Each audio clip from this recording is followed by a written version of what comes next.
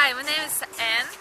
I'm from Ukraine, from best uh, city in Ukraine is Odessa, and I want to show you our beautiful city, and uh, I hope you would like.